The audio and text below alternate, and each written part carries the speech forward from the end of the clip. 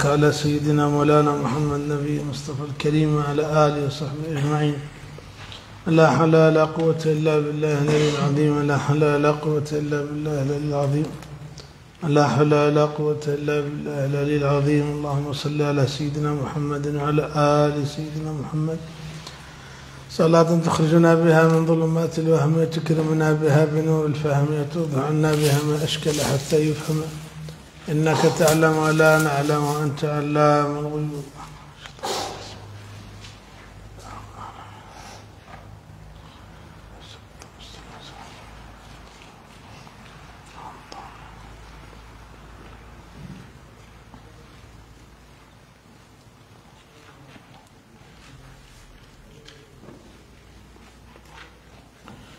يا من تقاس عن مكارم خلقه ليس التفاخر بالعلوم الظاهرة بل لم يهذب علمه أخلاقه لم ينتفع بعلومه في الآخرة. يا من تقاعس عن مكارم خلقه ليس التفاخر بالعلوم الظاهرة بل لم يهذب علمه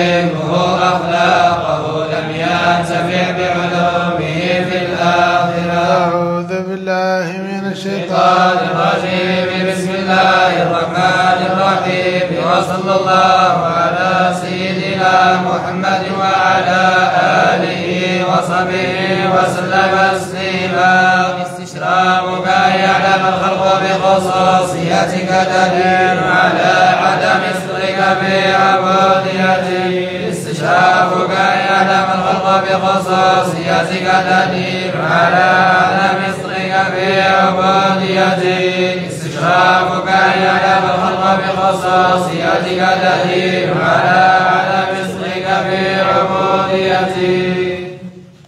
الشيخ رحمه الله تعالى ورضي عنه ونفعنا وإياكم بحكمه وأرشاداته وتوجيهاته في الدارين استشرافك أن يعلم الخلق بخصوصيتك دليل على عدم صدقك في عبوديتك. وهكذا الشيخ رحمه الله تعالى ينبهنا إلى دقائق العلوم فهذه هي العلوم الدقيقة. الموصلة إلى مراتب الحقيقة. استشرافك أن يعلم الناس بخصوصيتك. فهذه الحكمة مرتبطة بالحكمة التي قبلها وهي قوله رحمه الله تعالى رضي عنه ربما دخل الرياء عليك من حيث لا ينظر الخلق إليك. ربما دخل الرياء إليك من حيث لا ينظر الخلق إليك. وذلك أن تعمل كثيرا من الطاعات والعبادات والنوافل والصدقات والتلاوات والمبرات والقربات.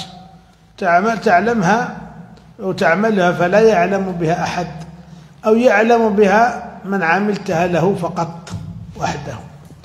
وحتى علم علم من عملت له فلا يعد هذا عبادة السر فإن العلماء مثلا بحثوا عن صدقة السر فقالوا صعب عليهم أن يتحقق بها الإنسان مثلا.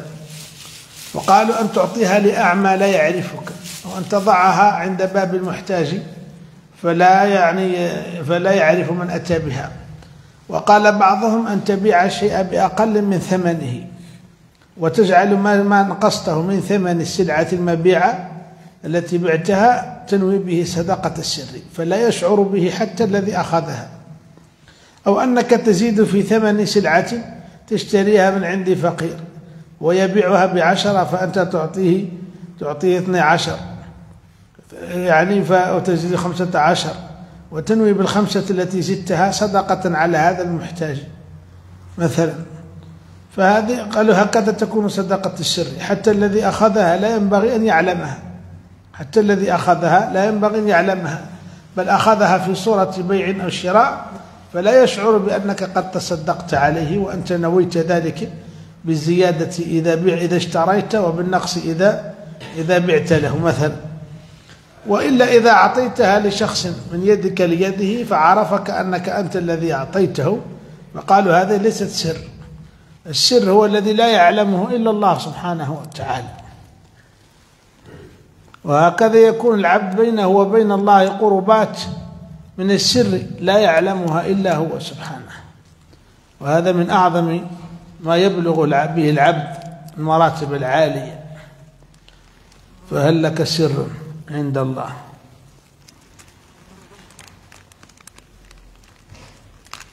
فربما دخل الرياء عليك من حيث لا ينظر الخلق إليك.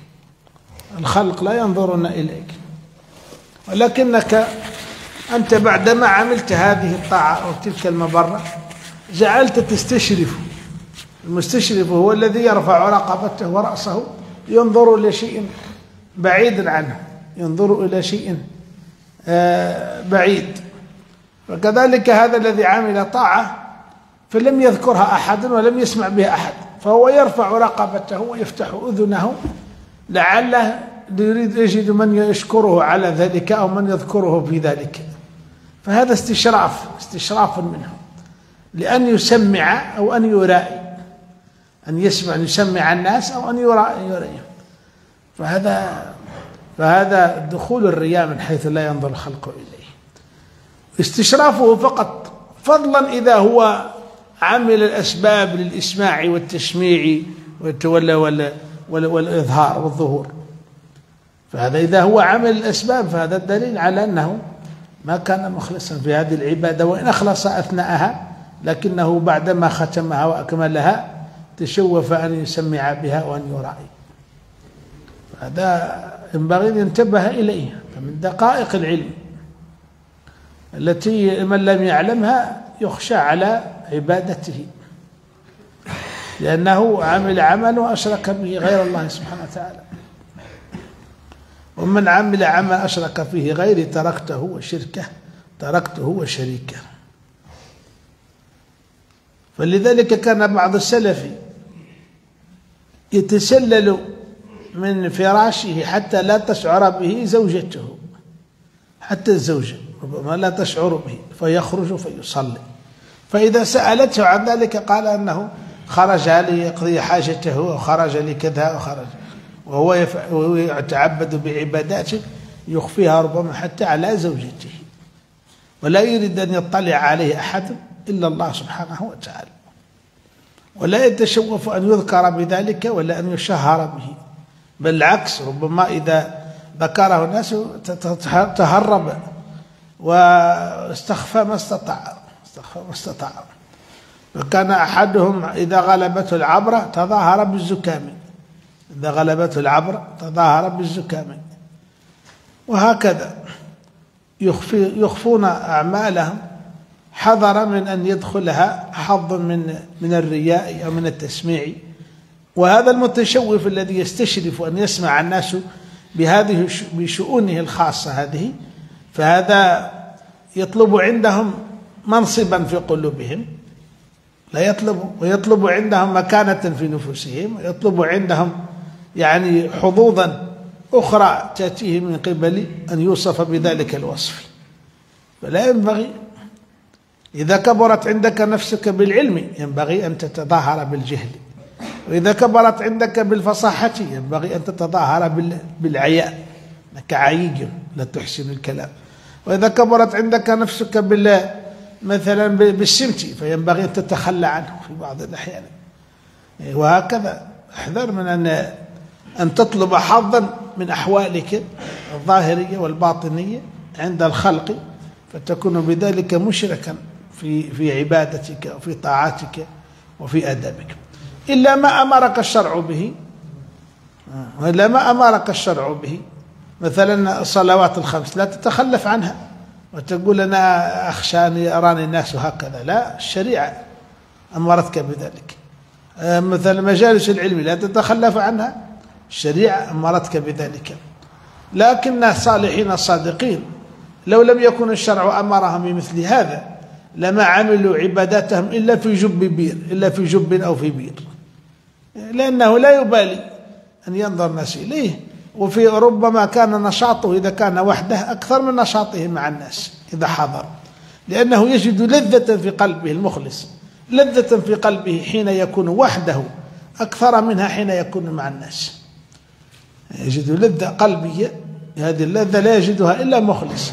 أنه إذا كان وحده ينشط في في شؤونه وأعماله وعباداته. وهذه أعمال السر هي هي التي بها العبرة. ذلك جاء في الحديث ذكر الله خاليا فاضت عيناه. ورجل تصدق بصدقة حتى لا تعلم شماله ما تنفق يمينه. إذا استشراف العبد لأن يعلم الناس بشؤونه مع الله سبحانه وتعالى بأحواله أو بأعماله الظاهرية أو بأحواله الباطنية. فهذا قال الشيخ أنه أنه يعني دليل على عدم الصدق في العبودية. لأن الصادق في عبوديته لله لا يريد لهذه العبادة أن يطلع عليه أحد إلا المعبود جل جلاله سبحانه. لا يريد أن يطلع عليه أحد. ولكن هذا خصوصا للمبتدئين. مبتدئين خصوصا. أما بالنسبة لمن يقتدى بهم فقد يظهرون شيئا من أعمالهم لأن بهم القدوة ولا يريدون بذلك آه، تصنعا أو طلب حظوة وإنما يريدون بذلك تنشيط المقتدي. يريدون إذا عملوا تنشيط المقتدي أن أن يقتدي بهم وأن يأخذ ب وأن يتأثر بأحوالهم وأعمالهم. وحيث أقامهم الله تعالى فهم لا لا ينتصبون لذلك أو يتخذون منصة أو منبرا يزعمونه أو يدعون إنما شيء أقامهم الله فيه يؤدون فيه عملهم حيث يراهم الناس أو يراهم القريب أو البعيد. ولكن ليس لهم قصد وهم يراجعون أنفسهم في ذبذبات القلب. ليس لهم قصد عند الخلق إذا هم مدحوا أو قدحوا أو أقبلوا أو أدبروا قلوا أو كثروا وإنما قصدهم فقط أن يقيموا الحجة بما يجري الله على أحوالهم وأقوالهم وأعمالهم مما تقوم به الحجة على الناس. لأن الناس في هذا الزمان مثلا يأتي واحد يقول لنا ما يقول لي مثلا أنا لا أجد وقتا. يقول الوقت ما هو الزمن هذا غير مسعف. للعبادة ولا للطاعة ولا للعلم. يقال له لا.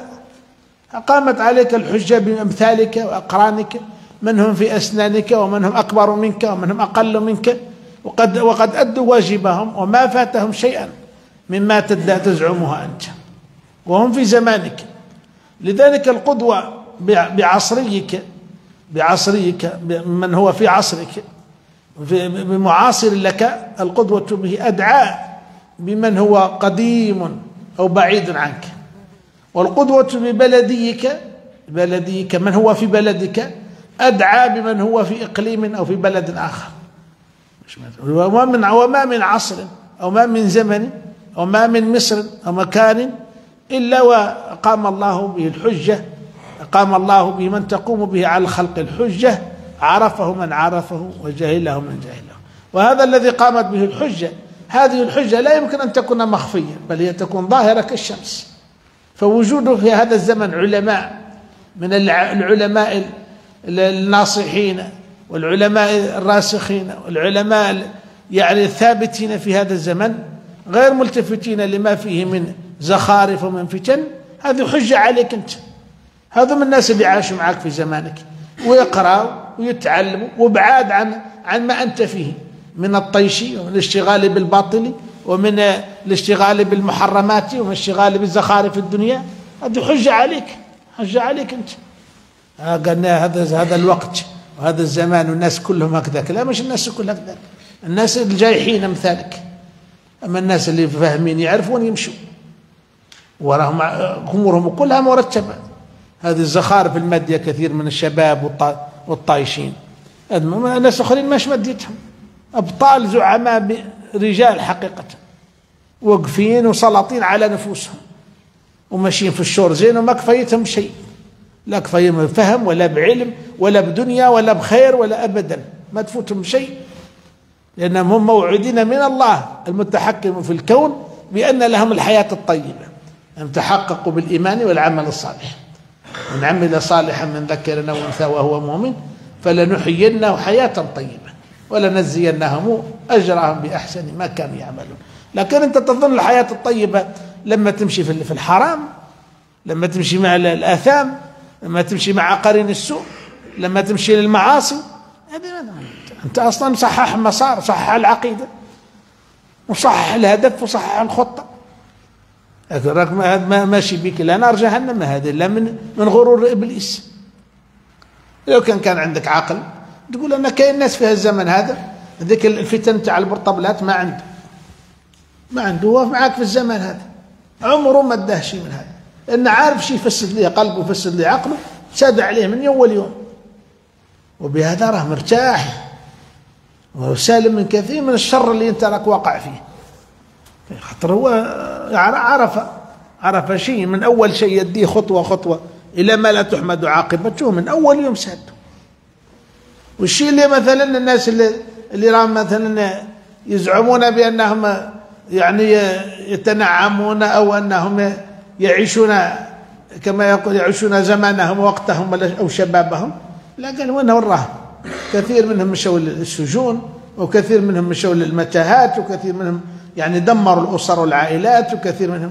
لكن الناس اللي هم ماشيين في الطريق سواء سواء عايشين في هناء في رخاء في نعمة في سعادة. في انبساط في سرور. متاكد لأن المولى تعالى المتحكم كما قلنا وعدهم بالحياة الطيبة وهم يجدونها. وإنهم يجدون الجنة قبل جنة يوم القيامة. إننا في كما قال العارف بالله إن في الدنيا إننا في في في نعيم. يعني لو يعلم الملوك ما نحن فيه لجلدنا عليه بالسيف. جلدنا عليه بالسيف. وهكذا المخلص حين يخلص وحين يكون قصده الله تعالى يعني لا يتشوف إلى إلى غيره بعد علم الله به. حسبي علم ربي حسبي علم ربي. يكفيني علم الله سبحانه وتعالى. كما قلنا الذين قامت بهم الحجة حين حين حين يظهرون كما هم في زماننا هذا مثلا بوجود وسائل التواصل بوجود اولا إنهم شغلوا الناس بالخير إذا هم أخلصوا وصرفوهم عن كثير من الشر ثم قامت بهم الحجة. في مثل هذا الوقت كثير من أمثالكم هم في المقاهي وهم في الملاهي وهم في كذا. إذا رأوا أمثالكم وأخلصتم أنتم النيه لله تعالى فإنهم بذلك يعني ينتبهون وأن كثيرا منهم يرجعون وأن كثيرا منهم يعني يعني يفيقون من غفلتهم. يقول لنا الشباب مش الشباب كله كما راكم تصوروا طايش كاين شباب غزلان من النور غزلان من النور من من الفهم ومن الفطانة ومن النباهة ومن العلم وحظهم من وراثة النبوية من القرآن ومن التفقه في الدين ومن الأدب الذي يعني تقر به عين الوالدين وتقر به عين سيد المرسلين صلى الله عليه وسلم. حين قال فإني مفاخر بكم الأمم يوم القيامة. كما قال الصحابة لسيدنا الربيع بن خيثم وهو من التابعين فقالوا له لو رآك رسول الله صلى الله عليه وسلم لفرح بك. الصحابة ما, ما يعني قالوا لها الشيء اللي شافوه فيه قالوا لو كان شافك النبي صلى الله عليه وسلم يفرح بك. وكل واحد يتصور نفسه أنه بين يديه عليه الصلاة والسلام هل هو من الفتيان الذين يفرح بهم؟ أو من الشباب أو من الفتيان الذين يعرض عنهم؟ واحد يشوف النبي صلى الله عليه وسلم يقول له خيارت بك. واحد يشوف يقول لها ها؟ لكن النبي صلى الله عليه وسلم رحمة يقول له الله يهديك. صلى الله عليه وسلم. الإنسان يتصور نفسه. هكذا لتقوم الحجة عليهم حين حين ظهروا إذا أن الله تعالى هو الذي أظهرهم وهيأ لهم ما يظهرهم. لكنهم لا يطلبون ذلك بأنفسهم. ولا يرونه هو الغاية إنما قصدهم رؤية الله سبحانه وتعالى. والذي كان مشتغل برؤية الحق له لا يلتفت للخلق نظروا إليه ولم ينظروا وقصده حين يكون عمله لأن المرائي هو الذي ينظر الخلق. أما الذي ينظر الخلق إليه وهو لا يبالي بهم فهذا ليس بمرائي ليس بمرائي فالشيخ هنا نبه على هذا الأمر الدقيق بأنه ربما دخل الرياء عليك من حيث لا ينظر الخلق إليك ثم قال استشرافك أن يعلم الناس أن يعلم الخلق بخصوصيتك دليل على عدم الصدق هو عبوديتك يعلم الخلق بخصوصيتك خصوصيتك من العبادات والمبرات والأحوال الأحوال القلبية كذلك. وهذا كما قلنا للمبتدئين خصوصا. أما بالنسبة للراسخين فقد يظهرون وقد ورد عن عدد من السلف أنهم يذكرون مثلا أحوالا قلبية كما روي عن سيدنا سعد بن أبي وقاص. ورأيت في بعض النسخ ينسبه لسيدنا سعد بن معاذ فقال ما أنه ما صليت صلاة وحدثت نفسي بغيرها وما شيعت جنازة إلا وحدثت نفسي بما هي قائلة وما يقال لها. ولا سمعت حديثا من رسول الله صلى الله عليه وسلم إلا علمت أنه حق. علمت أنه حق. فهذه أحوال قلبي. صلى صلاة وحدث نفسه بغير الصلاة وبغير مناجاة الله تعالى. وما شيع جنازة إلا وهو لا يحدث نفسه إلا بما, بما تقول وما يقال لها. من السؤال وغير ذلك. وما قال سمع حديثا من رسول الله صلى الله عليه وسلم إلا وتيقن أنه حق. من الأحوال القلبية. وقول سيدنا عبد الله بن عمر رضي الله عنهما قال كذلك لا أبالي حين أصبح أفي عسر أم في يسر لأني لا أعلم ما ما يريد الله بي أو ما يصلحني. لا يبالي أصبح في عسر أم في يسر لأن الذي اختاره الله له هو الذي هو خير من الذي اختاره لنفسه. وهذا أحوال قلبية كذلك صالحة. وقول سيدنا عمر بن عبد العزيز رضي الله عنه قال ما قدر الله لي يعني بقدر أو وسرني أن يكون لغيره. يسرني أن يكون لغيره. وقال يعني هوايا أو سروري في رواية عنه عند مواقع القدر. سروري عند مواقع القدر. أحوال قلبية يعني حين يقضي الله بأي شيء قضاه إلا وهو راض بل هو مسرور بكل ما يقضيه الله ويقدر ولو وافق هوى النفس ولو وافق مشتهى النفس. هذه أحوال قلبية تحدث بها الصالحون وقول مثلا سيدنا أبو العباس المرسي رضي الله عنه ما فارقني رسول الله صلى الله عليه وسلم لحظة ولو فارقني لحظة ما عددت نفسي مسلما وذلك لشد لعظيم اتصاله ولشدة اتصاله ولقوة ارتباطه بالنبي عليه الصلاة والسلام. فيفهم في معناه الأدنى أنه أنه أنه في كل أحواله يتبع السنة. في كل أحواله يتبع السنة. وفي مقامه الأعلى عند عند القوم له معنى آخر. يعني أرفع من هذا. إذا استشرافك أن يعلم الناس بخصوصيتك.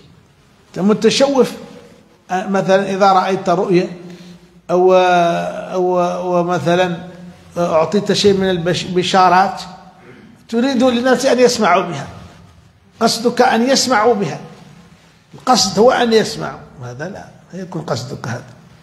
إذا كان تفيد علما أو تفيد حالا أو تفيد إرشادا تخبر بها لأجل لأجل ثمرتها أنها تفيد أدبا وتفيد إرشادا. لا تخبر بها من أجل أنها أنك أنت خصصت بها. تشوفك أنك خصصت بها أو أنها لتحصل من ورائها مكانة في قلوب من يسمعها أو في قلب من يسمعها فهذا هذا هو الاستشراف أن يعلم الناس بخصوصيتك. استشرافك أن يعلم الناس بخصوصيتك دليل على عدم صدقك في عبوديتك. عندك عندك شيء آخر تطلبه عندك شرك. شرك العمل. شرك العقيدة أن تعتقد أن هناك إلها. شرك العمل هو أن تعمل عملا لا تريد به وجه الله وحده وإنما تريد به حظوظك ودنياك ومناصبك ها هذا هذا المنهي عنه لأن أطلب ها الدنيا بالطبل والمزمار خير من أطلبها بالدين. بالطبل والمزمار أطلبها بالدين.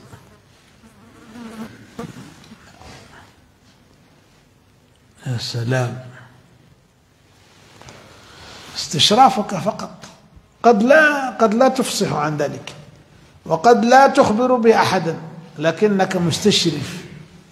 ها؟ باطنية مستشرف. أن يعلم الناس بخصوصيتك. هذه مشكلة.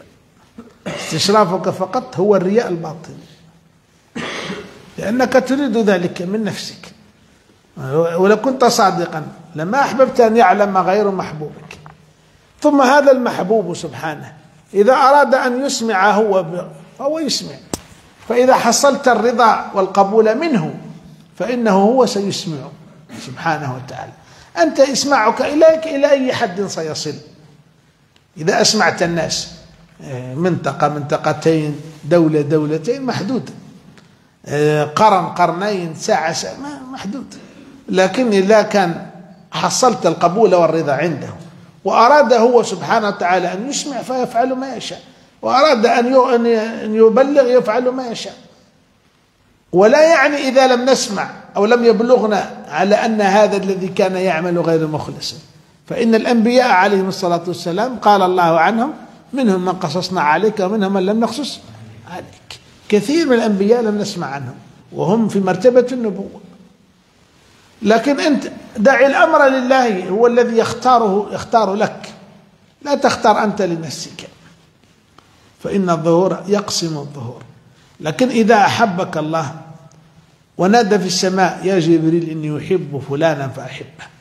فيحبه سيدنا جبريل ثم يجمع أهل السماوات وينادي في أهل السماوات. فيقال إن الله أحب فلانا فأحبه فيحبه أهل السماوات. ثم يوضع له القبول في الأرض. فلا يسمع بأحد إلا أحبه يوضع له القبول. حين يضع الله له القبول فلا زال الناس يذكرونه ويترحمون عليه ما بقيت الدنيا. وهذا وهذا مشاهد مشاهد. وكثير ممن لهم ليسوا كذلك. قد يكون لهم أنهم يلفتون الأنظار ويشغلون الأفكار ويظهرون في الشاشات ويظهر ثم بعد ذلك سرعان ما ينتهي كل شيء. كأنما طموا في بير لكن إذا كان هذا لأن ذلك الحذر من الرياء. الرياء لا ينتج معه شيء. وينبغي الإنسان أن يخلص في أعماله لتبارك وأن يخلص في أعماله لتكون سببا في في قبوله عند الله سبحانه وتعالى. والهم هو أن يكون مقبولا عنده ومحبوبا عنده. أما لو كان يحبك الخلق كامل ورب ما هو باغيك خاسر ما حصلت والو. ولا كان يبغضك الخلق كامل وربي أحبك كافيك. خلاص. كثير من الأنبياء يأتي وليس معه أحد. قومه كامل مش قبلي ولكنه عند الله نبي في مرتبة النبوة. ويأتي النبي ومعه الرجل واحد ويأتي النبي ومعه الرجلان ويأتي النبي ومعه الرهط ويأتي النبي وليس معه أحد. حدث ليس معه أحد. فكون الخلق تجاوب الخلق إقبالهم وإدبارهم ليس هو المقياس. المقياس هو القبول عند الله سبحانه انظر إلى كثير من الملاحدة وكثير من من الفاسقين وكثير من الفجار حولهم جماهير وحولهم ها؟ هالات وحولهم حشود بالآخر كلها زائلة ها؟ فرعون كم كان حوله ملايين ملايين. وهو على الباطل. لكن صاحب الحق أمة وحدة. فمن وجد الله ماذا فقد؟ ومن فقد الله ماذا وجد هذه الدقائق العلم. تكون كن مع الله. تكون لك سريرة وعلاقة صالحة مع الله سبحانه وتعالى.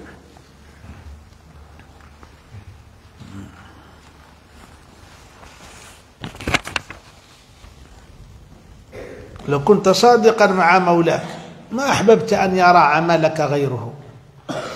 لو كنت صادقا مع مولاك ما أحببت أن يرى عملك غيره.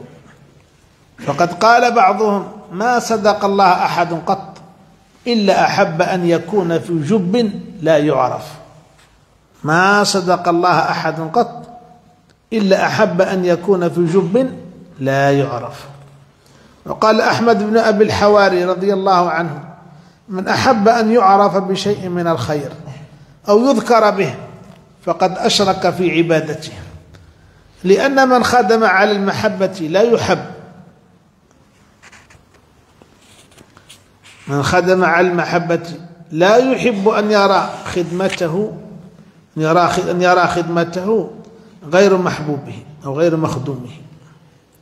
من خدم لينال المحبة عند مخدومه وهو الله جل جلاله لا يحب أن يرى خدمته غير محدومه. وقال سهل بن عبد الله رضي الله عنه من أحب أن يطلع الناس على عمله فهو مراء. من أحب أن يطلع الناس على عمله فهو مراء. ومن أحب أن يطلع الناس على حاله فهو كاذب. فهو كاذب. العمل هو عمل الظاهر. والحال هو الأحوال الباطنية القلبية. الحال مع الله سبحانه وتعالى. هذه أحوال ترد أحوال صدق مع الله سبحانه وتعالى. وحين ترسخ هذه الأحوال وتثبت يسموها مقام اللي هي مقامات اليقين في القلب. وليتحلى بمقامة المقين خوف رجاء شكر وصبر توبة زهد توكل رضا محبة. أحوال قلبية يهود عنده مقام الخوف. اللي عنده مقام الخوف ينشطه في العمل.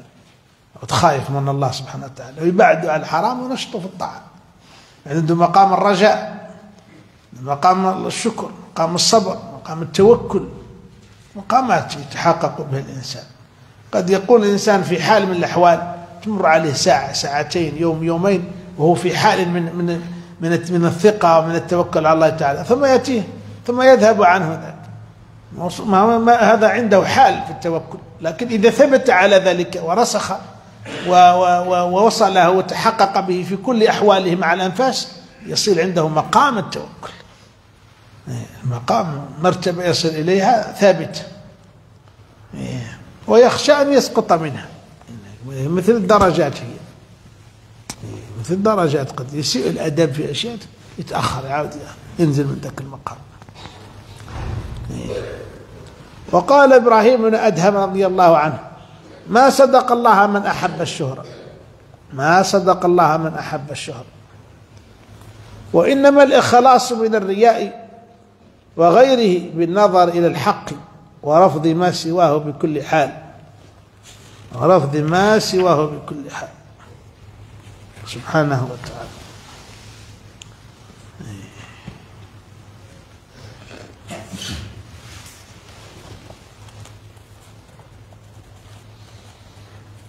استشرافك أن يعلم الخلق بخصوصيتك. تطلعك أيها المريد وميلك إلى أن يعلم الخلق بخصوصيتك التي خصك الله بها من الأعمال الصالحة ونحوها. دليل على عدم صدقك في عبوديتك. لأن صدق العبودية طرح الأغيار اكتفاء بعلم العزيز الغفار. طرح الأغيار والاكتفاء بعلم العزيز الغفار. قال بعض العارفين من أحب أن يطلع الناس على عمله فهو مرائي ومن أحب أن يطلع الناس على حاله فهو كذاب. فعلى العبد إخفاء حاله جهده وأن يبلغ في كتمانه أقصى ما عنده وهذا بالنسبة خصوصا للمبتدئين والمريدين. لذلك لا ينبغي الإنسان أنا عملت أنا فعلت أنا قرأت أنا كذا أنا كذا. لطيف. إذا ورد عنه شيء يحكي شيئا يحكي في بغاية من من التواضع ومن الأدب. لا يحكي باستعظامه لما هو فيه. ويحكيه مثلا للتنشيط في حالة مر بها ووفقه الله تعالى. وهو فرح بها أنها برزت من الله إليه لا أنها برزت منه إلى الله. لأن الأعمال في الحقيقة تفرح بها لأنها برزت من الله إليك. وفقك وثبتك وهداك وألهمك وأعطاك الهمة. كل شيء منه سبحانه وتعالى. هو الله أحد الله الصمد. الذي أعطاك الهمة وأعطاك بتوفيقه. وأنت إذا من نفسك الآن لا تجد شيئا من هذا أنت تسأل ربك أن يعطيك ما أعطى عباده الصالحين وأن تأخذ بالأسباب أن يلحقك بهم وأن ينظمك في عقدهم. فالله تعالى لا يرد من من قصده لكن يخص العبد هذا يطلبه يطلبه بافتقار. والله تعالى قال إنما الصدقات للفقراء والمساكين. المفتقر إليه والمطرح بين يديه والمترامي على أعتابه. لا يخيبه ولا يرده. يخص العبد عنده همة في في هالمعاني. مش همته فقط في في الفانيات. كثير من الناس همتهم فقط في الفاني أما في الفانية تنتهي أنت من الفاني تفنى. اطلب هذه المعالي التي أعطاها للمحبوبين وسوف ترى. وسوف ترى ما يؤول إليه أمرك من خير ومن سعادة ومن فهم ومن نور ومن بصيرة. أما تبقى هكذا في الحجب والأوهام والفانيات الله ما هي العيشة التي التي من أجلها كان الخليفة في الأرض. خليفة الله في الأرض هذا الإنسان حمل لأجلها التحقق بهذه العبودية التوجهات القلبية بكامل الصدق وصفاء الطوية وإخلاص النية. لله سبحانه وتعالى. قل إن صلاتي ونسكي ومحياي ومماتي لله رب العالمين لا شريك له وبذلك أمرت وأنا أول المسلمين.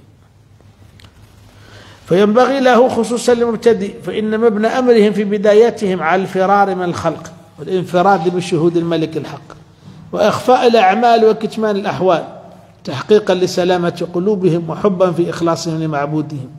وأما إذا تمكن اليقين وأيدوا بالرسوخ والتمكين وتحققوا بحقيقة الفناء وردوا إلى وجود البقاء فلا بأس بإظهار الأعمال ومحاسن الأحوال للاهتداء بهديهم والاقتداء بفعلهم. ثم بين الصدق مع الله في العبودية فقال غيب نظر الخلق إليك بنظر الحق إليك. إيه، أو غيب غيب أنت. نظر الخلق إليك بنظر الحق إليك. غيب من ذهنك. وإن تقارن نظر الله إليك نظر نظر الحق إليك. بين نظر الخلق إليك نظر الحق سبحانه وتعالى. إيه. بعيد في هذه المقارنة. في كثير من الأحيان كما قلنا تكبر الله أكبر الله أكبر وأنت ما عندك هو الأكبر.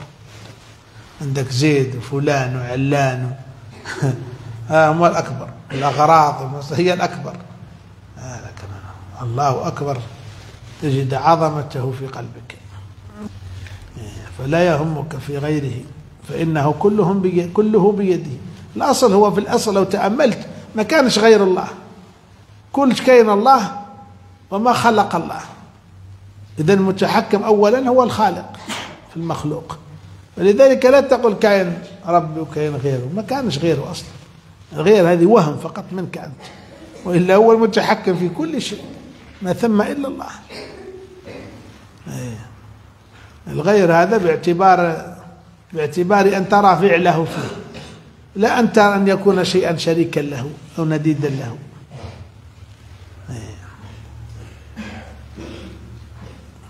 إيه. نعم. استشرافك بخصوصيتك لذلك قال الولي يخفي كرامته كما تخفي البغي الزانية إذا هي صنعت فعلتها. الولي المخلص. والولي وصل مرتبة الولاية. يخفي كمارة كرامته يخفي الكرامة كما تخفي البغي بغيها. لأنه لا يريد أن يسمع الناس ولا أن يعرف الناس. همه هو, هو أن يحصل شيئا عند الله سبحانه وتعالى. وهذا الشيء يخشى عليه أن أن أن يعني أن يقطع إذا هو تشوف له أو ركن ركن عنده. ولا ظهرت إليه ولا تبرجت إليه ظواهر المكونات إلا وندته حقائقها الذي تطلب أمامك. لذلك كان من من الله تعالى على بعض عباده ألا تظهر لهم الكرامة حتى لا يفتتنوا بها. وألا تحصل لهم المكاشفات حتى لا ينشغلوا بها. قال بعض شيوخنا عن عن هذا قال مثلنا مثل من يركب القاطرة. فالقاطرة هذه يركبها القطار. وعنده نوافذ ينظر إلى المحطات. في كل محطة يصل إليها هو مقصوده العاصمة. لكن هناك القطار الذي يركبه فيه محطات. وكل محطة مزينة ومهيئة وفيها منازل وفيها محلات راحة وفيها بيوتات للنوم وفيها كذا. فهو إذا مر بالمحطة وفتحوا له النافذة ففتح النافذة هو ما يريه الله تعالى من من خيرات عند تدرجه في في, في السير. فإذا هو التفت إلى أمام يقول أنا أنزل هنا. يقال له لا الذي تطلب أمامك. آه، كان منازل أحسن من هذا المنزل. كثير من ال من من ال من الذين لم يبلغوا هذا المرتبة وهذا الفهم ينزلون في الطريق. ويركنون إلى هذه المنازل فينصرفون عن المقصود وهو لقي الملك في العاصمة مثلا. ولكن بعض الصالحين لما رأى كثرة انشغال الناس بما يرونه من النوافذ طلع عليهم الزجاج. ما ولاش يشوفوا؟ ما يفيقوا حتى يوصلوا الملك. وهذا هذا في بعض أهل الطرائق يعني آه، القائمون على هذا التربية. لا يحبون لمريدهم أن يفتحوا هذه النوافذ لا ينشغلوا بأشياء يرونها في الطريق حتى يصلوا إلى المقصود بالسلامة ورب بالغ المقام ينعم عليه بالحجاب وهو أسلم. ورب بالغ المقام ينعم عليه بالحجاب وهو أسلم. أنا كي يمشي يوروا ليه يبدأ يركن له أنا رأيت وأنا شفت وأنا لقيت وأنا لا لا بعدين يشغل بهذا وتكبر عنده نفسه فيحال بينه وبين التحقق بالعبودية الكبرى والوصول إلى مقامات العالية من أهل القربى وأهل الولاية. فينعم عليهم بأن يحجبون عن كل هذا حتى يصلوا. لكن الأول والآخر في هذا الترتيب هو أوامر الشريعة ونواهيها. وتقوى الله عز وجل. ما حد إنسان ماشي في أوامر الشريعة ونواهيها في كل مرة يذوق شيئا. حتى ويستعذبه يستحليه. حتى يواصل سيره إلى الله سبحانه وتعالى بعد أن يذوق طعم الإيمان. يذوق طعم الإيمان. فهذه منازل سارها أهل الله وعرفوها وعرفوا ما فيها وعرفوا التواءاتها وعرفوا. فكان ابن عطاء الله رضي الله عنه في هذه المسالك من الخبراء. الخبراء. لذلك ينبهك عن هذه الدقائق. إيه، التي يقع فيها كثير ممن قد نصبوا للدعوة وقد نصبوا للإرشاد وقد نصبوا وهم ما قروش هذه الحكم تفوتهم الأشياء هذه فيخشى عليهم يخشى عليهم غائلات الطريق.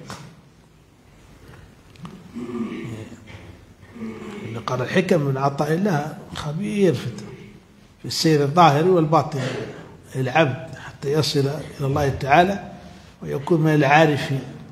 فقد قال شيخه سيدي أبو العباس إن هذا أعلم بمسالك السماء منه بمسالك الأرض. مسالك السماء يعني مسالك العروج إلى الله سبحانه وتعالى. أعلم مسالك السماء أعلم منهم مسالك الأرض. إن لله عبادا فطنا طلقوا الدنيا وخافوا نظروا فيها فلما علموا أنها ليست لحي وطنا جعلوها لجة ما اتخذوا صالح الأعمال فيها سفنا. التصوف بالفوط من قال هذا فقد غل.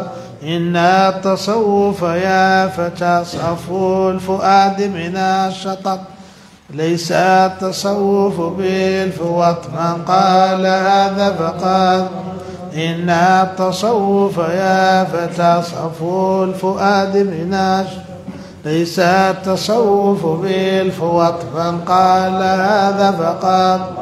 إن التصوف يا فتى صفو الفؤاد من ليس التصوف بالفوات من قال هذا فقد غلط. إن التصوف يا فتى صفو الفؤاد من الشطط. ليس التصوف بالفوات من قال هذا فقد غلط. إن التصوف يا فتى صفو الفؤاد من الشطط.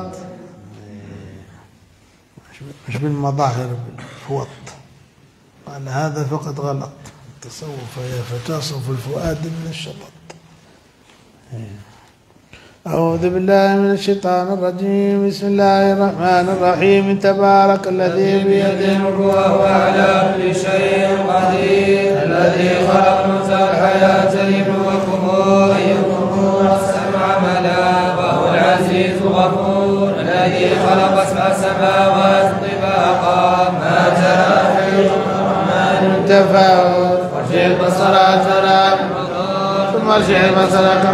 ينقلب إليك البصر خاسرا وحسير ولخزي السماء دنيا بمصابيح وجعلناها